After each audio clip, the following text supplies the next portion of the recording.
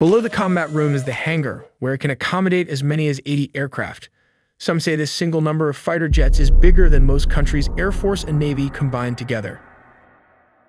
Beneath the hundreds of aircraft are the crew mess and ship galley designated areas where military personnel eat, socialize, and sometimes live.